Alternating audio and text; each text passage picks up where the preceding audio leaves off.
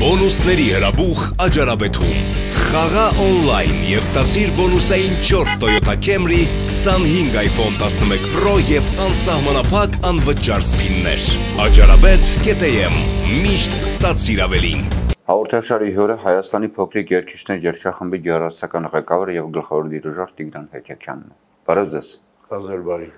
Շնորհակալություն մեր տաղավարում հյուրընկալվելու համար։ Շաբաթ օրը դուք ունեցաք համերգ։ Սկսենք հենց այդ համերգից, ինչ համերգ էր։ Սա մեծ համար շատ հուզական մի համերգ էր այն առումով, որ մենք երկու տարի Հայաստանում մենահամերգ չէինք ունեցել եւ երկու տարի դաթարից հետո մենք վերջապես մենահամերգով հնարավորություն ունեցանք ելույթ ունենալ եւ բնականաբար կոմիտասի հավիսնամյակի այդ տարուն մենք այն պիտի անպայման նվիրեինք կոմիտասին եւ համեմենք մեր համերգային ծրագիրը հնարավորինս շատ կոմիտասի ստեղծագործություններով համերգը տեղի ունեցավ ելի առաջին անգամ մեր մեր խմբի պատմության մեջ Հայաստանի ազգային պատկերասրահի որմնանկարների դահլիճում ես ուզում էի վաղուց այդտեղ ելույթ ունենալ, որովհետև շատ հաճելի մտնոլորտ է, այդ որմնանկարները, այդ թանգարանի, թանգարանում ընդհանրապես համերտալը մեծ մեծագույն հաճույք է եւ բարեբախտաբար թանգարանում կա սրահ, որը ունի բավականին հաճելի ակուստիկ պայմաններ։ Եվ այսպես ստացվեց շնորհիվ Արման Ծատուրյանի, որը համաձայնվեց համագործակցել, այսինքն դա մեզ նշան, մեզ համար նշանակում է ֆինանսական միջոցների նաև խնայում, չեղած ֆինանսական միջոցների եւ մենք այդպես ունեցանք համերգ 400 հոգուց բաղկացած ունկնդիր ունեինք ինձ թվում է հաճելի ունկնդիր ունեինք գիտեք գիտակ զգացվում է որ ունկնդիրը ոչ թե ծափահարում է իներցիայով սկսեց ու գնում է ոչ թե չհասկացող այլ բավականին զգայուն նրբանակատ եւ արվեստ սիրող, արվեստ գնահատող եւ հասկացող ունկնդիր էր։ Եվ երբ դու տես զգում ես այդ իրենց կողմից հեռացակող այդ ազդակները, քեզ մոտ ամիջապես ամեն ինչը տրանսֆորմացվում է, փոխարկվում է, վերադարձվում է արդեն յետ մեր կողմից ավելացված մեր այս ազդակները այսպես խառնվում եւ կարծում եմ ենթադրում եմ որ երկացանկում հիմնականում կոմիտասը ընդգրկված։ Իրենք հիմնականում չի կարելի ասել եւ չենք կարող ընդհանրապես ընդգրկել, քանի որ կոմիտասը ժամանակին երբ գրում էր շատ չի գրել մանկական երգչախմբերի համար, այն ժամանակ բանկական երջախումբ էլ չի եղել նորմալ, ինչ կրթություն ենք ունեցել, ինչ իրավիճակ եղել երկրում, որտեղ բանկական էլ երջախումբեր ունենայինք, հաշվենք, որ բազմաձայնությունն էլ նոր տարածվում էր ժողովրդի մեջ եւ այո, երկսեր ստեղծագործությունը շատ ունի արական կազմի համար ունի, բայց մանկականի համար շատ քիչ եւ դրա համար մենք ավելի շատ երգում ենք իր կանանց համար գրված խմբերքերը, որոնք ավելի հետաքրքիր են, ավելի հարմոնիաների իմաստով, իր մտածողության իմաստով եւ երեխաները դրանք հեշտությամբ հաղթահարում են, դրա համար մենք ավելի շատ այդ գործերն ենք ընդգրկում, ինչ որ հնարավոր է։ Շաբաթօրը նաև Երևանի տոններ 2801 ամյակը հրավերջ ունեիք, որովհետեւ տոնի հետ առիթով։ Ոչ։ Մի տեսակ այս վերջին երկու տարին Երևանի տոնը այնպես пассив չի նշվում, ինչ կարծիք եք։ Չեմ կարող ասել անկեղծ ասած, որովհետև ընդհանրապես վաղուց ոչ միայն այս երկու տարին մինչև անկախությունը դե գիտեք շքերթներ, մայիս մեկյան այդ պաստառներ կամ զորահանդեսներ, դա մի ուրիշ փիլիսոփայություններ, ուրիշ քաղաքականություններ, ուրիշ մտածողություններ։ Հետո որ անկախացանք, կարծես թե պիտի տոնը լիներ ժողովրդական։ Ավելի հզոր, ուժը ցույց տվող։ Անպայման չի հզոր, ավելի ես կուզեի տարածվող ժողովրդի մեջ, այսինքն մեզ մոտ չէ որ ամեն ինչ կենտրոնանում է Երևանում։ Այո։ Իսկ ես կուզեի գնային դեպի ծայրամաս։ Ես կուզեի որ այդ տոնը հասներ Նոյեմբերյանի, Ստեփանավանի, Տաուշի մարզի, Սյունիքի, չգիտեմ, ամենա վերջին գյուղի բնակչի։ Մենք անտեսել ենք, վաղուց ենք անտեսել եւ հիմա էլ անտեսում ենք, ինչ որ կարկախոսներ կան, ապակենտրոնացնել դեպի մարզեր, խոսքերը կան։ Գուցե բյուջեից էլ տողեր են վատնվում, բայց օրինակ չեմ հիշում։ Ուղղակի չեմ հիշում գոնե վերջի տարիներին, որ մեզ մեկը առաջարկի, որ եկեք մի անգամ էլ աշխարհով պատտվում եք, մի անգամ էլ գնացեք մի, մի շրջան, մի մարզ, գնացեք Կապան։ Կապանը այդքան հզոր մշակութային օջախ էր, Կապանի ուսումնարանում դասախոսում էին այսօրվա մեր դասախոսների պրոֆեսորան ամբողջը սկսել էր Կապանում դասավանդել։ Այնպիսի մտնոլորտ կար, այնպիսի որակ կար, կապանը ուղղակի մշակութապես կարելի ասել դատարկվել է եւ կամ ինչի գրանք Սյունիքի մյուս շրջանը նոյեմբերյան Ստեփանավան օ ես ես գուցե ես եմ սխալ ես երբեք չեմ պնդում իմ իմ ճշմարիտ լինելը բայց այդքան հեռու չեմ էլի մեր իրականությունից մեջն եմ եւ կլսեիք իմանայի որ կարող է պատարիկներ լինեն, ասենք մի խումբ գնային տեղ, մի խումբ, բայց այսպես massայական, որ մենք գնանք մարզերը, գիտեք ինչու, որովհետև եւ դրսից ենք բերում, շատ դժվար է ուղղորդել դեպի հեռավոր մարզեր, եւ նյութական, եւ ժամանակային առումով, այսինքն փառատոներ ունենք, լավ խմբեր, մենակատարներ են գալիս, կամ նվագախմբի հետ պիտի նվագեն, այսինքն խնդիրներ կան կազմակերպչական եւ գեղարվեստական եւ կատարողական, բայց մեր խմբերին հնարավոր է գործուղել եւ դա չէ մեծ գումարներ չեն եւ եթե նրանք գալիս են Երևանն են փորձում մշակութապես լցնել մեր դահլիճները տեղ ու դաթար չունեն ունենք մի բուր դահլիճ սա մի հատ ուրիշ թեմա է մենք դահլիճներ չունենք Երևանում անտդ հյուրանոց ու ռեստորան ենք սարքվել դահլիճ չունենք իսկ ով գնա մարզեր գուցե մենք Եվ ես կարծում եմ կլինեն եւ կատարողներ եւ կլինեն խմբեր, որոնք հաճույքով կգնան, ուղղակի դա ինչ-որ ձև ինձ թվում է չի կազմակերպվում։ Եթե չեն մատուցում, ժողովուրդն էլ բնականաբար չի վերցնում։ Ու ասում են հետաքրքրող չկա մշակույթով, пассив է։ Իսկ կոմիտասի 150-ամյակն է, արդյոք Երևանից դուրս մարզերում որևէ միջոցառում լինում է։ Ինչի Երևան լինում է։ Այդ մասին խոսենք։ Ես կարծում եմ, որ ավարտվեց մեր մեզ համար ուղղակի արդեն խորթանիչ դարձած սուրբ ընկալված կապ չունի իրեն կկարգեն կտրվի այդ բայց մեզ համար կոմիտասը դա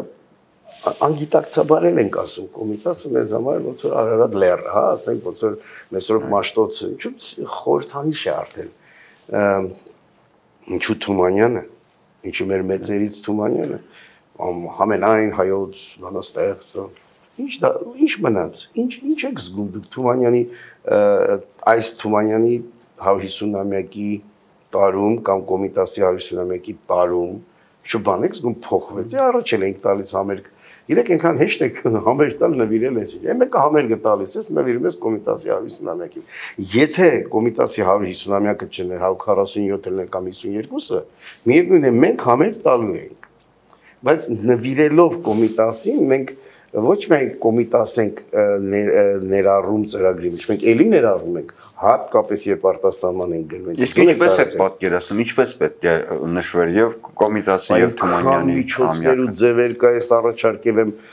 3 անգամ փոխվեց մեզ մոտ չէ նախարարության կազմը վերջի 2 տարում։ Ես սրա մասին 140 151-ի մասին ահազանգել եմ դեռ եւ կոմիտասի 149 144 ամյակներ որ պետք է սկսել, պետք է այսօր սկսել, աշխարհը չի անում ամեն ինչը տվյալ տարում, սկսում են տարիներ առաջ, եթե դու ուզում ես հանրայնացնես, իսկ մենք կարիք ունենք կոմիտասի անունը հանրայնացնելու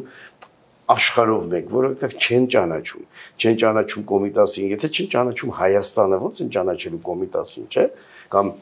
զուգա երս երկակի եւ նա եւ նա եւ Թումանյանին ավելի բարդ է, որտեղ այնտեղ լեզվա լեզվային խնդիր կա, թարգմանություն է պետք Ես նախ եւ առաջ պատկերացնում եմ, որ ինչքան էլ թարգմանված է Թումանյանը, եւ կան եթե իր ստեղծագործությունից որ թարգմանվել են վերահրատարակել, իսկ եթե կան որ թարգմանված չի, ապա թարգմանել եւ նորից վերահրատարակել եւ անպայման շատ բարձր մակարդակով թարգմանությամբ եւ անգլերեն լեզվով ժամանակի խորթային տարիներին մենք Հավրամյակը հիշում եմ ինչքան ես փոքր երեխա շուկով նշեցին Հավրամյակը Թումանյան ինչքան հրատարակություններ եւ այլն բայց ես կուզեի որ արդեն դեպի դուրս գնալ մենք անդադ տապակում ենք մեր Դրա համար պետական հայացք է պետք։ Միայն թողում են տուն թանգարանի հույսին, որը միջոցներ էլ չունի եւ աշխարհում այսօր Թումանյանը ոչ թարգմանվում, ոչ ներկայացվում է, ինչպես վայել է իր մեծությանը։ Մի ռուսերեն գիրք տպագրվեց, կարծեմ այս տարի Թումանյանի է։ Հավես ռուսերենը թարգմանվել է, գուցե վերահրատարակել են։ Ես ասում եմ վճարեին հայտնի լավ բանաստեղծների, որոնք կարող էին թարգմանել անգլերեն եւ թարգմանվել անգլերեն։ Իսկ կոմիտասը իր կենթանության նորոք արդեն եվրոպական երկարվեստի աշխարհին, երաշտաշխարհին հայտնի էր։ Նրա հետ շատերն էին հաշվի նստում ու որպես մեծություն գնահատում, ասում են որ իր միջոցով մենք կարողացանք ցանոթանալ հայկական երաշտությանը երկարվեստի։ Այդ մեկ անձի միջոցով Եվ մենք էլ դասագրքերում կարդում ենք, չէ, ինչպես Փարիզում փառատոնի ժամանակ նվագախմբեր, երգչախմբեր եւ դուրս է գալիս մի դալուկ երիտասարդ իր սևազգես, ինչպես գրված է հանում է փոքրիկ սրինգը եւ սրինգը եւ առաջին մրցանակը Գերմանիայում։ Եվ հասկանում ենք, մենք սա կարդացել ենք, չէ՞, դպրոցում անցել ենք, բոլորս անցնում ենք։ Այսինքն հետո այդ երեխաները դառնում են պետական պաշտոնյաներ։ Իրենք հասկանում են, որ մի անձը հայտնվելով կարևոր տեղում, ճիշտ ժամանակին կարողանում է աշխարհին հրամցնել այդ մեր մեր արվեստը, ազգային արվեստը, մեր արվեստը, հայ արվեստը կարևոր չի կամ ներկայացնել ինքս ինքը, բայց հիմա ի՞նչն է խանգարում որ դա անել։ Ինչու՞ մեր լավագույն դեսպաններին, մեր արվեստի լավագույն դեսպաններին ճուղորթել դեպի դուրս, որպեսզի ճանաչեն իրենց։ Հիմա դու կա ես համոզված եմ հիմա կհատկադարձեն ոմանք որ դու գնացիք, չէ՞, մենք գնացինք մեր ուժերով, այսինքն մեր ուժերը ինչ է։ Այո, մեզ հրավիրեցին եւ մենք գնացինք։ Եթե մեզ չհրավիրեին, մենք չէինք գնա։ Այն է մեզ տվեցին ճանապարհածախսի կեսը մեր մշակույթի նախարարությունը, որի համար շնորհակալ եմ։ Պարտքով գնացինք, պարտքով։ Այդ վերջին հոկտեմբերի սկզբերին դուք եղաք համերգ հյուրախաղերով արտասահմանում։ Այդ մասին է խոսքը։ Այո, մենք գնացինք Լիտվա եւ Գերմանիա եւ ունեցանք այնտեղ 7 համեր, պետք է լիներ 8-ը, բայց գիտեք, ամեն անգամ մենք վստահ չենք, մենք գնում ենք թե ոչ, իսկ աշխարհը ամեն ինչը նախապես է կազմակերպում։ Համերներ կան, որ թռնում են։ Ուղղակի դուրս են մնում։ Օրինակ ես չեմ մոռանա երկու տարի առաջ մենք պիտի գնայինք Բերլին եւ Բերլինի դոմում, մայր տաճարում պիտի համեր լիներ ցեղասպանության օրվա հետ կապված այն Բերլինում, որը այսինքն դրանց 1 տարի առաջ ընդունեց եւ իր մեղավորությունը ինչ չափով ճանաչեց հայոց ցեղասպանության հարցում. Շատ քաղաքական առումով էլ ճիշտ էր եւ կազմակերպել էր այդ ամենը բայց քանի որ մինչև վերջի պահը չգիտեն գումար կտանք չեն տա չեն տա գերմանացիները ասացին երբ որ կորոշեք դուք ունեք գումար թե չէ ճանապարհացած խնդիրներ մնացած ամբողջ այնտեղ կազմակերպչական եւ նյութական հարցերը երջախմբի որոնք շատ զգալի են, ավելի քան ճանապարհածախսը, հոգում էր գերմանական կողմը։ Դա Բունդեստագի մակարդակով եւ մեր Հայաստանի դեսպանության Աշոտ Սմբատյանի հետ համատեղ կազմակերպված մի բան է։ Թռավ։ Այդպես էր հեղափոխությունից առաջ այս թավշը եւ այսպես է թավշը հեղափոխությունից հետո։ Միշտ եւ դա մեր կծկտուր ես չեմ ամաչում այդ խոսքի համար եւ պատասխանատու եմ խոսքիս համար կծկտուր փոքր նեղ մտածողության հետևանք է։ Մենք չունենք մասշտաբային մտածողություն, մենք չենք տեսնում հերրուն։ Մենք ծիծաղում ենք, որ մի անգամ պատմեցի մի տեղ, ասեցի գիտեք, որ ճապոնացիները դա դեռ 1900-ականների վերջն էր։ Ասեցի գիտեք, որ ճապոնացիները հիմա լավ չեմ հիշում, ինչ մի խումբ նստած ծերագրում են իրենց գրվում է կազմակերպում իրենց 3050 թվականը մինչև իրենց քաղաքականությունը եւ մշակութային եւ քաղաքական եւ տնտեսական 3050 թիվը նրանցից նրանց թորները այդ ժամանակ չեն լինելու բայց դու պիտի տեսնես ուր է գնում քո նավը ոչ թե հեծանիվ քշելուց այս մարդիկ հեծանիվ չեն քշում դառնում են հետո պետական պաշտոնյա հեծանիվ քշելուց ծոր ասում են նայիր առաջ մի նայ ակի մի նայ քո քթի դիմաց նույնը մեքենա քշելուց չի կարելի տապակվել սեփական յուղի մեջ մենք պետք է հանենք դուրս Իսկ մենք միջ այդ մեր բոլոր տոնախմբությունները հրավառությամբ էին սկսվում, հրավառությամբ էին ավարտվում, սկսում էին ջահերով երթվում։ Այդ ուրիշ գաղափար չունի ժողովուրդը։ Եւ հիշում եմ 1700-ամյակ այդպես նշեցին ջահերով էշմիածից քայլեցին, ինչ կապ ունեին այդ ջահերը, այդ կրակը, կամ Արամ Խաչատրյանի հարյուրամյակը տխուր ձևով տապալեցին, հա, բայց ամենտեղ տարածում են որ հոյակապ անցկացի։ Իսկ հիմա որևէ բան չփոխվեց այս վերջին 1.5 տարում։ Մինչև մտածողությունը չփոխվի, ինչը պիտի փոխվի, ինչը պիտի փոխվի։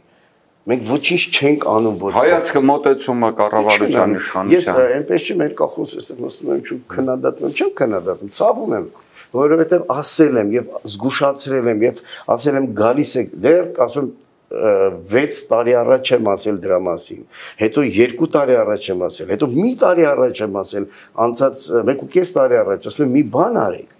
Բայց գիտեք ինչքան գաղափարներ եմ տվել, որ ինչպես կոմիտասին հանրայնացնեն, հանրահարչակեն աշխարհով մեկ եւ այնքան սեղ միջոցներով, բայց ավելի շատ միջոցներ են ծախսվում, որոնք օգտակար գործողության գործակից այդ ամենի չի երևում Իսկ ես մշակութային քաղաքականության մեջ բավականին փոփոխություններ եղան անցյալ ու այս տարի, ինչպես եք նայում դա։ Չգիտեմ ինչ փոփոխություններ։ Մշակույթի նախարարությունը միացվեց կրթության գիտության եւ այլ եւ այլն։ Ինչեւ միացնելն էլ եմ ասել։ Անկախ նրանից ով է նախարար, ովքեր են փոխնախարարները, հաշվեք ես եմ։ Եթե ինչ կապ ունի։ Դա կապ ունի մենք ձևը ձևն ենք փոխում, բովանդակությունը բովանդակության մասին է խոսքը ստեղծում ձևը։ Մենք սարքում ենք կառույցներ, օրինակ մարզահամայնքային համալիրը, բայց ձևը վերցրել են Կենեդի օթանավակայանի կառույցից եւ դրա մեջ ոչեն է, ոչեն է։ Ձեր շենքի հարցը փոքրիկ երկիշների ինչ եղավ ի վերջո։ Լուծվեց, չլուծվեց, լուծվում է, ինչպես ցանկանում էին փորողները, փոսը փորողները, քիչ-քիչ քանդվում է ինչ որ որոշվել է, նա էլ արվում է։ Ոչինչ չանելով աստիճանաբար շենքը քանդվում է։ Մի պատեր, պատիմի հատվածը տանիքի հետ փլուզվեց, հիմա մյուս հատվածն է փլուզվում։ Վերջերս խորհրդակցություն եղավ նախարարությունում եւ ներկաներից բոլոր ովքեր ներկային ոնք փորձում էին գտնել միջոց։ Հա, եկան ասացին ամրացնում ենք եւ այլն, այդքան պայքարեցիք։ Ես չգիտեմ, այդ ոնց է տենց այդպես ստացվում, որ վարչապետը կարգադրություն է անում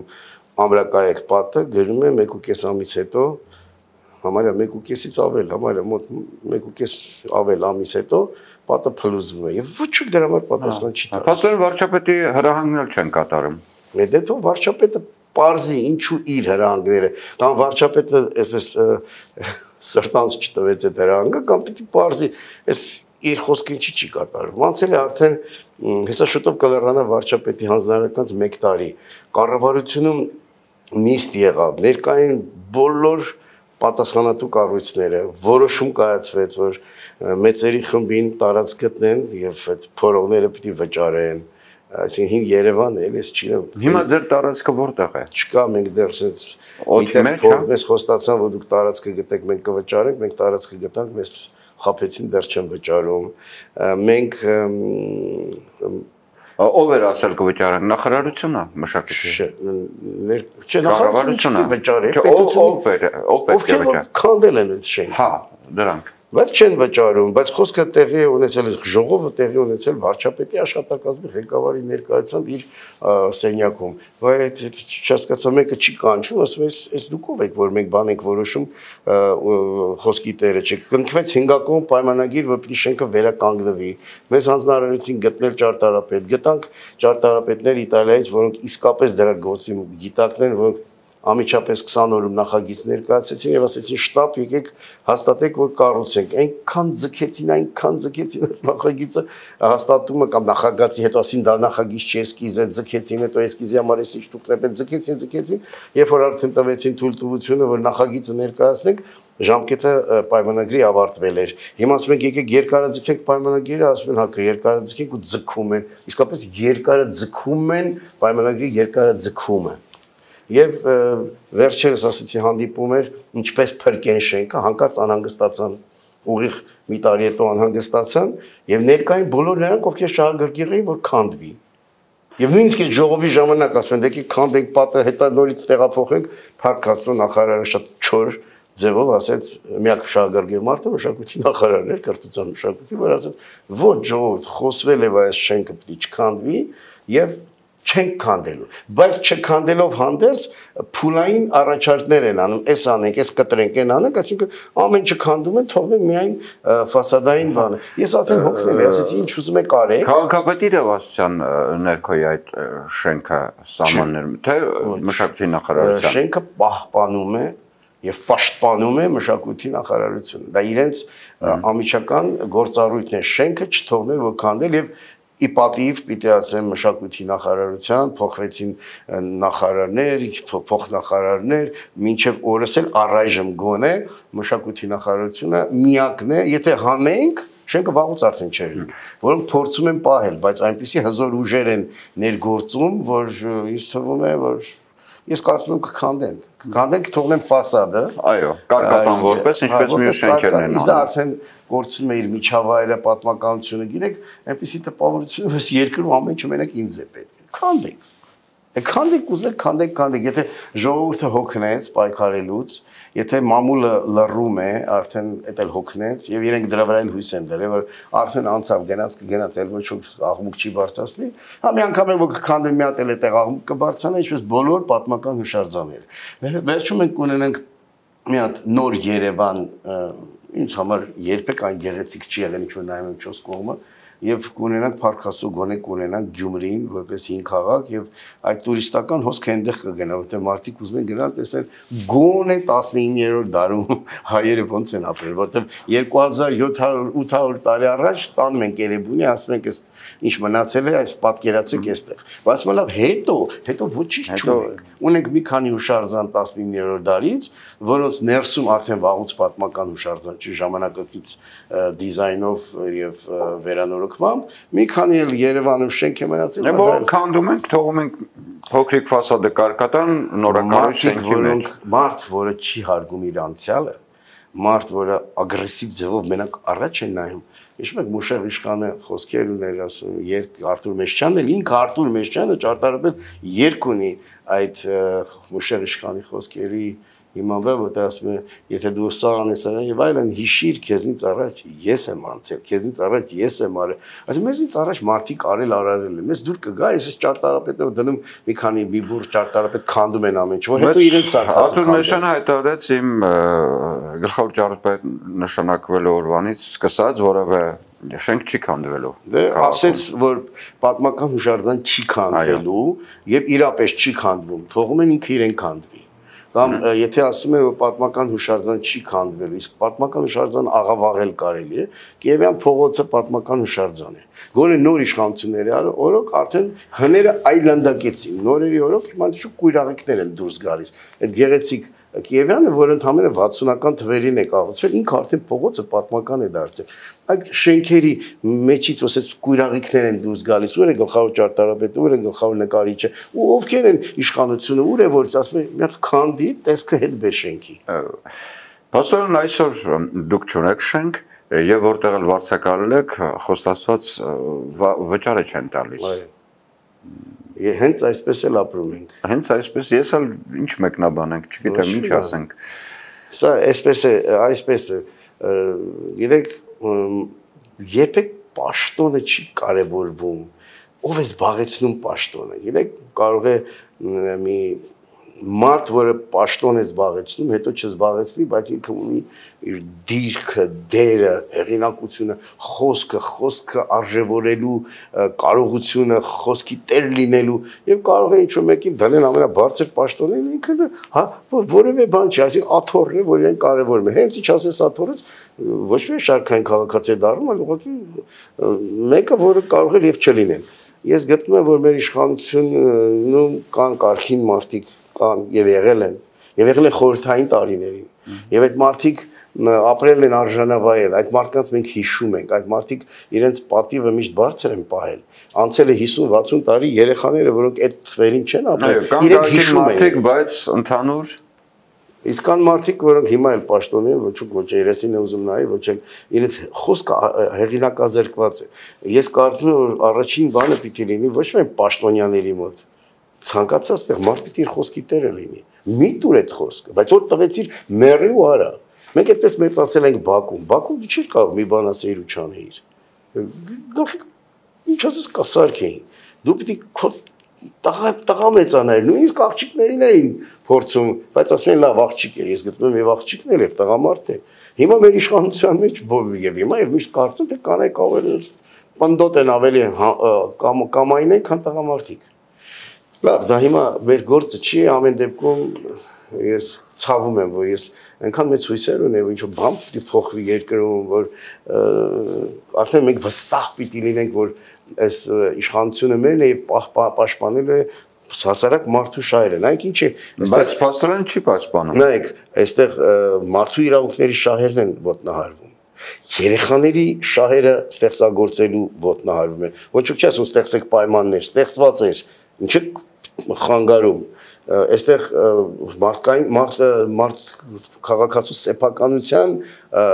իրավունքն է ոտնահարում։ Երեք իրավունք է ոտնահարվում։ Եվ մարդու իրավունքների պաշտպանից միջև վարչապետ բոլորը դա գիտեն, տեսնում են, բոլորի աչքի առջև է։ Հույս ունեիք իսկ այսօր հուսախապեք աստորեն։ Գիտեք, չեմ ասի հուսախապեմ։ Ես շատ մեծ հույսեր չէի տածում ոնց է ես հույսը միցեք հավատ ունեի հավատում էի որ պիտի փոխվի որովհետև այնքան էր հագեցած ամեն ինչը անտանելի արդեն որ մտածում էի հիմա ուրիշ բան պիտի լինի բայց մեկ էլ տեսնում ես որ այնքան էլ շնորհալի ազգավան միջապես վերցնում է նախորդից էլի նախորդից մենք խորթային տարիներից վերցինք ամենավատը լավը տվեցինք գնաց այս անկախության տարիները ինչ լավ ունեցանք, եթե ունեցանք, մի տեսակ sense մնաց մի կողքի վրա, բայց վատը վատը իրար փոխանցում ենք, շատացնում ենք, զարգացնում ենք։ Ես կարծում եմ մենք խնդիր ունենք կրթության հետ։ Դա այս նոր իշխանությունը փաստորեն նախորդ իշխանության վատը վերցրեց, հա։ Դե չգիտեմ, այս նոր իշխանությունը գոնե հələ որ տեսնենք գոնե ընտրությունները եթե չկեղծվեն հսկայական բան կլինի։ Արդեն ժողովուրդը կիմանա, որ ինքը իր քվեիտերն է, ասենք ընտրել ես, դե հիմա տուժի կոնտրացի համար ես կսպասեմ մինչև ընտրությունները եւ երջանիկ կլինեմ գոնե այս ասպարեզում մենք կունենանք այլևս հետ չեն գնա, որովհետեւ ինձ թվում է ամեն ինչ նախ չասեմ միայն դրանց, բայց դրանց էլ սկսվեց։ Ամեն ինչ սկսվեց, երբ որ մեծ ժողովրդական քվեստացող իշխան կուսակցությունը այդ կարծեց, որ ինքը աստուծել բարձր է եւ չի կարելի իշխանության այդքան մեծ քվետալ, որտեղ նա կորցնում է իր դերից իշխանությունը միշտ կորցնում է իշխանությունը հզոր ուժ է եւ կորցնում են այդտեղ նստած մարդիկ կորցնում են իրականության հետ կապը անկախ նրանց փողոցում քայլում են թող փողոցում քայլեն բայց պետք է նստել եւ զրուցել, պետք է ականջալուր լինել, թեկուս սխալ է խոսում։ Հիմա Տիգրան Մեքեքյանը սխալ է խոսում, բայց ինչի է խոսում։ Այսինքն մարդը չէ հենց անենց խոսի։ Մենք հասկանանք, մենք կանչենք, ասենք, ինչի՞ ես դժգոհ, բայց այնպես չի որ չեն չգիտեն, ամեն ինչ լավ գիտեն, բոլոր քննարկումներին պատմել է, գրվել է, 20 անգամ գրվել է, կարելի է գիրք հրատարակել հետագայում Արամի 23-ի հետքերով, ինչ նամակագրություն բոլոր տեղերում Ես չեմ ուզում այլևս այս թեմայով խոսել։ մեծ քվեստացած իշխանությունը փաստորեն կորցնում է իրականության զգացողությունը։ Կորցնում է ոչ միայն իրականության զգացողությունը, կորցնում է ժողովրդի վստահությունը դա ինձ համար դա ինձ համար ուղղակի անընդունելի է դա ինձ համար ուղղակի սարսափելի է ես կուզեմ որ այս իշխանությունը կարողանա վերականգնել իր վարկանիշը, որովհետև չի կարելի ժողովրդին անդադեսպես ասել ժողովուրդ վաղում ընտրեք, նրանք էլ նույնն են լինելու, չէ պիտի փոխի, պիտի իրանք հասկանան, որ եթե եւ պիտի չնեղանան, որ խոսում են։ Հակառակը պիտի կանչեն նրանց, ովքեր խոսում են, եթե եթե իրանք քաղաքական ինչ-որ նպատակներ չունեն։ Իսկ ես փառքաստո ոչ խորհրդային տարիներին, ոչ անկախության 3 փուլերի ընթացքում ես որևէ քաղաքական ուժի չեմ հարել, որևէ կուսակցության անդամ չեմ եղել եւ վաղն էլ չեմ լինելու եւ ով էլ վաղը լինի, նրանց էլ պիտի քննադատեմ, եթե ճիշտ չլինեն, որտեղ ես համարում եմ, որ այս իշխանությունը իմ իշխանությունն է։ Ես եմ ձայն տվել եւ ոնց որ մարդ իր երեխային կուզի ասել, բալես տենց մի արա Իմ ծնողները ես մեծ տղամարդ էի դեռ դաստիարակում էին, ուղղություն էին տալիս, դուրս կարող եւ չէր գալիս, բայց հիմա երբ որ իրենք չկան, ո՞նց եմ արժևորում ամեն իրենց խոսքը, այն ժամանակ էլ էի արժևորում, բայց հիմա առավել եւս։ Ես ուզում եմ, որ բոլոր նրանք, ովքեր գալիս են իշխանության, չկարծեն, որ իրանք ամենախելոքն են ու ճիշտն են։ Թեկուզ ամենախելոքն ու ճիշտն են, բայց ականջալու, ականջը սրեն ասեն, ինչ ինչի խոսեց, այս ինչի խոսեց։ Լավ ինչ եղավ սեր խոսեց։ Դուք ազգային արվեստը ներկայացնում եք ամբողջ աշխարհում։ Կարծես այսպես դեսպանի պես տարածում եք։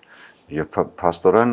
այդքանից հետո նման վերաբերմունք կա ձեր նկատմամբ։ Ես դրա վրա ուշադրություն չեմ դարձնում, գիտեք, եթե դրա ուշադրություն դարձնել խորթային տարիներից պիտի ոչինչ չանի։ Ես միշտ գլխս կախ եմ գործանում եմ, շատ դժվար է, երբ որ պետական օժանդակություն չես ունենում, բարոյական առումով է դժվար, նյութականն էլ անշուշտ, բայց ինձ համար դա կարևոր չի, որովհետև ես հավատում եմ իմ արածի կարևորությանը։ Հենց չհավատամ էլ չեմ անի։ Ավելի կարևոր բան եմ անում, ես ոչ թե այնքան կարևոր է որ տարածում եմ, ես ունեմ այդ հնարավորությունը։ Նախ ես ունեմ այն, ինչը կարելի է տարածել եւ պարտավոր ենք տարածել եւ դա ես չեմ ասում։ Դա երեկվա համերգից հետո են ասում մարդիկ, դուք պիտի գնաք աշխարհով մեկ։ Առաջին անգամ դա ասեց Միացյալ Նահանգներում Հայաստանի դեսպան Շուգարյան ասեց, «Ես երկիրը պիտի հանդած ձեզ ուղարկի դուրս»։ Դրա մասին ասում են դեսպանները։ Առաջի անգամ Բելգիայի դեսպանը մեզ Հայաստանի 90-ականներին ասեց անվանեց Հայաստանի փոքրիկ դեսպաններ, իսկ Եվրոմիությունը մեզ ուղղակի շնորհեց այդ դիտմոսը ոչ թե Հայաստանի դեսպաներ, այլ Եվրոպայի մշակույթի դեսպան աշխարհում։ Մենք սա ստացել ենք արդեն Եվրոմիության կողմից։ Այսինքն Եվրոպան արդեն ընդունում է, որ մենք եվրոպական արվեստի տարածողն ենք ամբողջ աշխարհում։ Եվ բազմաթիվ երկրներում եք աշխարհի ելույթներ ունեցել։ Ներ առաքելությունն է, բայց ավելի կարևոր բանը որ կրթում ենք երեխաներ դրթում ենք վաղվա օրվա երեխաներին, այսօրվա երեխա երիտասարդներին։ Իրեք քիչ-քիչ պիտի այդ մոխրագույն դաշտը լրացնես վառ անհատականություններով, որոնք պիտի դեպի իրենց գրավեն, մոխրագույնից դեպի իրենց գրավեն մոխրագույններին, գունավորեն իրենց եւ դրականը շատանա, արդարը շատանա, սկզբունքայնությունը շատանա։ Մենք շատ անսկզբունքային ժողովուրդ ենք ամփոփենք մեր զրույցը հիմա այս պայմաններում ինչպես եք առաջնորդվելու ինչպես եք փորձեր եւ այլն անելու չգիտեմ փորձելու ենք հասնել նրան որ մեր գումարը տան որ մենք կարողանանք շարունակել փորձել որովհետեւ մենք 7 ամիս չաշխատեցինք մինչեւ որ մեզ գումարը առաջի ամսվա գումարը տվեցին եւ եթե այսպես շարունակվի 7 ամիս վարձը գումարը նկատի ունեք վարձը Այդ որտեղ պիտի հա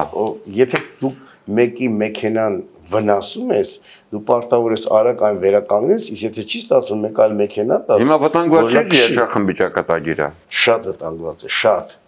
Շատ վտանգված է եւ հույսը դնելով այն բարձր որակական եւ արհեստավարժական կարողությունների խմբի, որ դրանք կերքեն էլի կերքեն հա իշխան, բայց դուք մի մենք մի բան եք մոռանում, բա սերնդափոխություն, մենք հիմա արդեն խնդիր ունենք սերնդափոխության հետ, որտեղ որ միտեղ վատ է վիճակը, մարդիկ արդեն սկսում են չգնալ, փորձ չունենք ում ում ընդունենք, ով գան ինչ անեն։ Հին կազմը մնաց, բա նորերը ուր գան Եթե 7 ամիս չի գործում, եթե չգիտեն ուր պիտի գան, վաղը ինչ ենք անելու, եթե մենք կորցրինք սերնդափոխությունը, այս երջախումբը դատապարտված է փակման եւ այն մարդիկ, ովքեր ամեն ինչ արեցին, որ այս խումբը դեռ այսօր չունեցավ տարածք եւ այսօր չի աշխատում, այդ մարդիկ ինձ թվում է ուղակի են հանցագործել։ Պարզապես մեր խոսքն ուղենք կառավարությանը Պարոնեք իշխանավորներ ուշադիր եղեք երջախմբի նկատմամբ։ Կառավարությունը ընդհանուր մի բան է, կան կոնկրետ մարդիկ։ Այդ կոնկրետ մարդկանց, որոնք գիտեն եւ մենք իրենց անդադ նամակ են գրում, այնպես չի որ չեն գրում։ Մենք գրում ենք իրենք չեն պատասխանում, մենք գրում ենք իրենք չեն պատասխանում։ Երրորդ նամակի մի հատ պատասխան է։ Գուցե էսենց այդ հաղորդումը ուղղարդ լինի, որ փորձեն փորձեն այնքան ուժեղ իմունիտետ են ունեն, ինչքան երկար են աշխատում իմունիտետը ուժեղանում է։ Սկզբում շատ զգայուն են լինում, հետո իմունիտետը բերում է նրան, որ Դες այդ շեշտադրմամբ էլ ավարտենք մեր Ես կուզեի մենք խոսեինք մեր համերգային շրջագայությունից, որովհետև այնպիսի արժանապատվություն է բարձրանում եւ խոսում էին եւ Լիտվայի դեսպանը, Հայաստանի դեսպանը Լիտվայում եւ Գերմանիայի Գերմանիայում Հայաստանի դեսպան եւ արվեստագետներ եւ երաժիշտներ, որոնք տղամարդիկ արտասվում էին ուղակի ասում են, «Էս ինչ հրաշք է, ինչու մենք չունենք Լիտվայի նման երկիրը»։ Նորություն չէ այդ ամենը, մենք վաղուց է ամբողջ աշխարհում, որ երկրում ելույթ եք ունենում, վաղուց գիտենք դա։ Ուղղակի դա պահել, պահպանել է պետք իմանաք։ Հա։ Ուշադիր լինել է պետք, սա է ամբողջ նպատակը։ Մեկ անգամ ներկա լինեք, դուք ուրիշ զգացողություն կրեք։ Մեր դաշնակահարը պատահաբար այնպես ստացեց Գերմանիայի մեր նախկին նախկին դաշնակահարը 10 տարի եղել է Եվշախմի դաշնակահարը Նարինե Մարդոյանը եկել էր Լայպցիգում Գևանդհաուս աշխարհարչակ դարիճում մեր համերգին եւ ասեց այսքան տարի ես նվագել եմ, այսքան տարի խմբի անդամ, հիմա էլ հետևում եմ, բայց այս զգացումը, որ ես նստած էի դահլիճում, եւ երբ որ գերմանական, լիտվական եւ այլ երգչախմբերել են մասնակցում, իրենց լավագույն երգչախմբերով, հետո համեմատության մեջ դու կներեք, այդ իրենք էլ են ասում, մենք չունենք նման բան։ Ժողովուրդ ջան, այն որ չունեն, պիտի պահեն։ Ոչ թե որ մերն է դրա համար։ Իմը չի, մերը չի կողքինն է, բայց մենք ամեն ինչ որ մեզ համար, եթե մենք դա այն ճանաչված է աշխարհում լավագույնը, իդու համարը թե շատ բան չունես կամ չունես աշխարհում լավագույնը գոնե արվեստի բնակավարում, եկեք պահեք այդքան հեշտ չի ստեղծել, զարգացնել, հասնել այդ որակի եւ դեռ պահել անընդհատ։ Եկեք մենք ասում ենք, եթե չասենք մի օգնենք, բաբա, մի մի խանգարեք։ Ինչևէ, մի օր գուցե ավելի լավ թեմայով խոսենք, արդեն հոգնել եմ ես այդ Արամի 23-ը դարձավ մեզ համար մի տեսակ Հուսում կորի վերջո կպահեն կպահպանեն այս եղած այս բարձր արժեքը։ Հենց այսպես հույսով էլ ապրում ենք։ Շնորհակալություն զրույցի համար։ Ես եմ շնորհակալ։ Հիշեցնում, զրուցեցինք մայստրո Տիգրան Հեքեքյանի հետ։